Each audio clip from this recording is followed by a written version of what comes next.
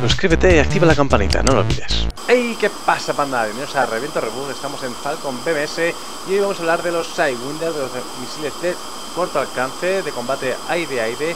Y bueno, aquí podemos ver, pausando el simulador, que tenemos tres modelos distintos en cada plano. Si nos ponemos en el plano izquierdo, vais a ver que el, justo la punta del plano es el i9MP, modelo P. El del medio es el modelo M y el de más, la parte interior, que está al lado del depósito de combustible, es el modelo X, que ya os fijáis en la cola, que el modelo X le cambian la cola, el roalerón ese que usaba para estabilizarse, es más pequeño y bueno, más maniobrable. Cada misil es mejor, el P de que estaba fuera es el peor, solo aspecto trasero, con lo cual solo vamos a poder disparar objetivos desde atrás, Mientras que contra el 9 y el X vamos a disparar objetivos de todos ángulos, ¿vale? Lo podéis ver en la gráfica que os estoy poniendo ahora mismo, como el i9P solo tiene un sector trasero para disparar de frente. También hay ángulos en los que puedes disparar, pero justo de frente no. Tendrías que estar un poquito por debajo o por encima para poder ver el misil, pudiera ver la tobera del avión y así poder ser disparado.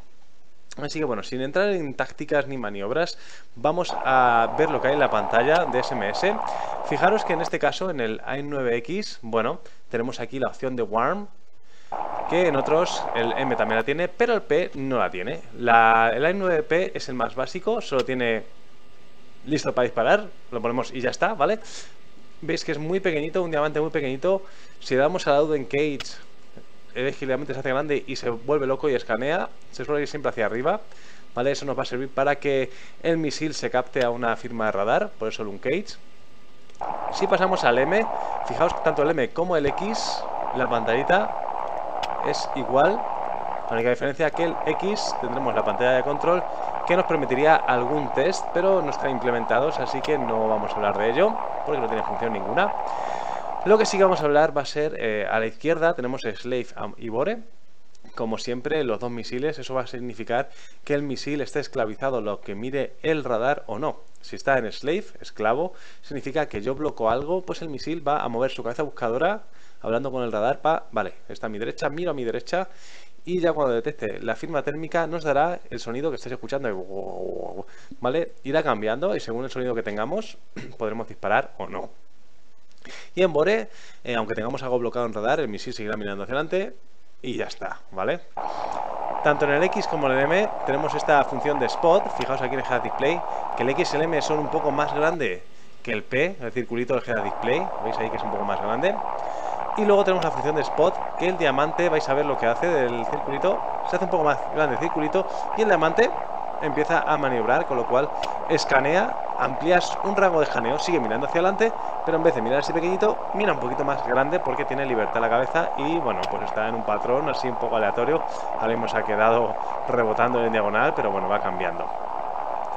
Ok, y aquí el bypass o el TD, BPTD, esa función es igual para los dos misiles. En el momento que tengamos una firma térmica buena, lo que va a hacer, lo que va a hacer al estar en TD es directamente como si nosotros pulsáramos la U. Fijaos que si pulso la U, el diamante se hace grande, en este caso en el X se queda ahí, en el M se va y en el P también se va. ¿Por qué en el X se queda ahí? Porque está esclavizado al modo casco, no tengo el modo casco activado, se queda en el centro. El M también debería estar esclavizado al modo casco, pero tiene la tendencia a irse y el P no tiene nada. ¿vale? También os puedo poner una foto ahora mismo del modo casco, no vamos a hablar del modo casco, eso será en otro vídeo, pero eso eh, nos va a mostrar que cada Sidewinder tiene un sensor más pequeñito o que tiene más visión, ¿vale? En caso del i9X, su, su cabeza buscadora puede mirar 90 grados a la derecha y a la izquierda y arriba y abajo, evidentemente, mientras que el M va en vez de mirar sobre unos 45 que sería en esa dirección, ¿vale? Ya veis que tiene menos rango de apuntar, por así decirlo, y el P pues se centra casi en head display si te descuidas un poquito más, ¿vale? Es muy simple. Entonces fijaos que yo ahora bloco, el bloque de contacto que está, estoy acercándome, está lejos, la DLZ es igual que para el, el AIM 120, lo único que aquí no vamos a tener ningún temporizador ni nada, ¿vale? fijaos que me, subo, que me estoy acercando con 90 grados, la V me indica que estoy fuera de rango y aquí tenemos igual el 6 este que digo que la parte cerrada del 6 es cuando el enemigo usaría la, táctica de Bueno, me estoy mirando hacia ti, si me disparas, me doy mi vuelta y corro. En el momento que está dentro de ese 6, ya esa táctica no le sirve, a no ser que tenga mucha aceleración, o acelere, evidentemente. Eh, y luego, pues la parte que está abierta, como el avión está yendo en dirección contraria, yendo en nuestra misma dirección, es muy pequeñita. Pero es el rango de cuando vamos de frente, pues eh, probabilidad de, impactarle, ¿vale? Si no maniobra mucho. ¿Ok? Todo bueno. Eh, fijaos en eso, que la DLZ es igual que la del 120. Os podéis ver el, vídeo de la del 120 que se ve más grande, pero es exactamente igual. ¿Vale? Fijaos que en el sonido sigue estando... Y si le doy un cage, el diamante se va del avión, ¿vale? Vuelve a un quejear y vuelve el diamante. Y esto nos va a pasar con todos los misiles, sobre todo porque estoy en Warm, ¿vale? Empezando por ahí. El P, bueno, vemos que el P le vuelvo a un cage, no tiene ni sonido. y ahí se va. Y luego tenemos el X, que nos pasa igual. Se va, aquí se está vinculado más al modo casco que lo veremos en otro lado, por eso se queda en el centro, pero se va del objetivo. ¿ok? Fijaros que si lo hago en Bore, en Bore también se nos pasa el scan, quito el scan, lo pongo en spot, y en Bore, como no hace caso el radar, ahí lo tengo en Bore ahora mismo, fijaos, Bore, Slave, Bore, pues desaparece la DLC en el radar, ¿vale? Y desaparece, se mantiene el display, pero no nos da indicación de nada. Recordad que estos misiles hay que dispararlos tanto en tono como en rango. O sea, si ahora mismo no estoy en rango, ni tengo tono, entonces no puedo dispararlo. Voy a pasar al 9X, lo voy a enfriar para que sea más capaz de detectar calor. Fijaos en el sonido. Ahí ha cambiado, ya está más fresquito, ya detecta mejor y está ready para disparar. Si no lo pasamos a, cool, eh, no, no vamos a estar ready. Y fijaos ahora le doy la U y ahí ha cambiado el sonido. ¿Vale? Este sensor es mejor y estamos a 10 millas y, y se mantiene. ¿vale? Por eso sirve el Uncage. Si aquí le pongo el TD, cuando tenga buen sonido, debería pasar. ¿Vale? Todavía no buen sonido para él, así que se queda ahí. Es, ahora ha saltado el solo porque ya está con un buen sonido permanente. Y yo no lo puedo cancelar porque estoy con el TD, así que lo pongo en bypass, lo cancelo y me voy al MX, que también está en cool. Y fijaos que el M el modelo M no tiene tan buen sensor, con lo cual a esta distancia no lo está detectando. Así que vamos a dejar es que, el sonido vaya... O sea, este ahora mismo estamos escuchando el tono térmico. Como está muy lejos, a pesar de estar refrigerada la cabeza, no tiene buen tono. Entonces es un tono más... En el momento que tengamos mejor tono, que, lo, que quiero que lo escuchéis ahora, es en el que dispararemos de vez en cuando podéis dar a la U y si el diamante no se queda, evidentemente es que está algo fallando. ¿Vale? Estamos entrando en rango. Fijaos que la U sigue sin funcionar. Con el P va a pasar exactamente igual. Con el P ni, ni suena. Ahí estamos en el M. Ahí nos lo hemos perdido.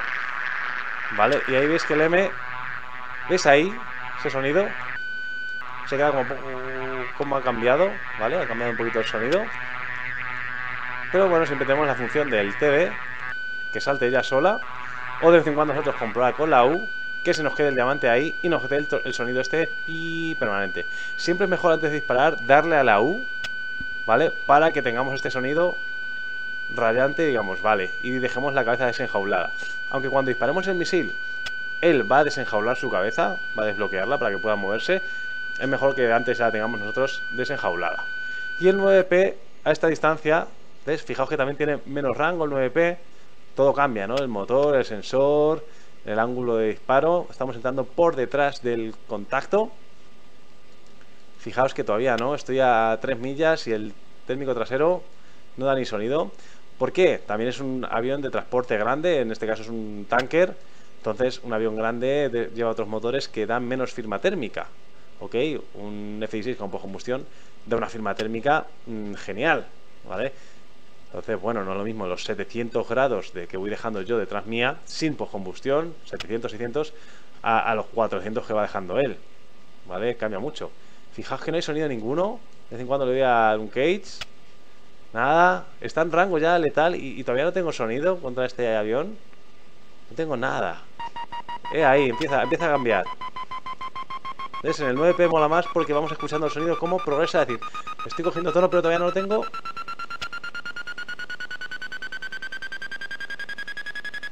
Ahí tiene tono. Vale, ahí está, ya, podemos disparar. Y ahora damos a un case y queda ping. ¿Vale? Fijaros que este tono es importante en cabina que tengáis el botón de misil, este de aquí.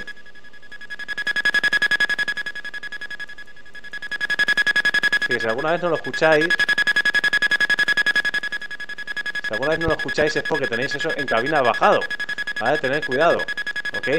Y bueno, aquí tenemos los rangos que también tenemos nuestro rango mínimo. Ahora casi está, bueno, ya se ha pasado el rango mínimo, pero yo sí me atrevería a disparar el misil.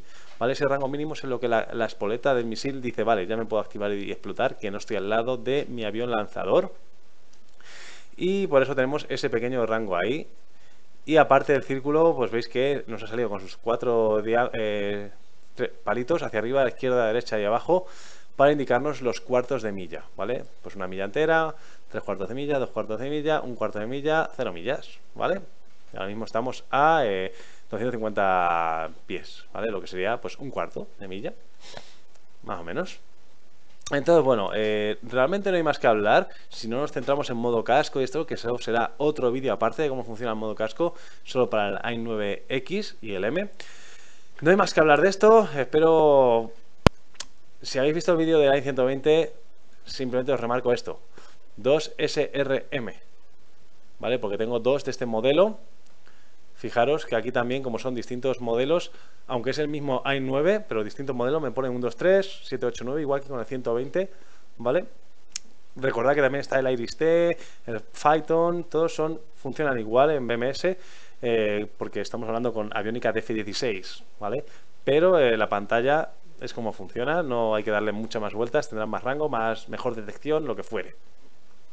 Si yo cambio de misiles, ¿vale? Tengo ahí el 9P ahora mismo seleccionado, paso al X y veis que el X me pone dos hop, ¿vale? Le doy a un cage o le doy a cage, ¿vale? Hop, porque puede ser por el tema de que yo lo mueva con el tracker, ¿vale? Bueno, con la cabeza. Está en modo spot, lo puedo poner en modo scan el hop es todo aspecto eh, que sea guiable con la cabeza. El 9M, fijaos que pone 2SRM. Y el P otra vez, pues 2SRM. Solo remarcaros eso. Y luego, dependiendo de en qué modo estemos, si en Bore o un Cage, eh, usando el modo casco, aquí también nos pondrá, pues si estás en modo, bueno, en el casco te lo pone, está en modo visual o no. Así que ya eso para otro vídeo. Eh, suscribiros para no perderos ese próximo vídeo, darle a like, comentar siempre lo que tengáis, las dudas debajo. Y como siempre os digo, ser felices, chao chao. No olvides suscribirte, darle a like y revisar mis últimos vídeos. Subscribe, give me a thumbs up and check my other videos.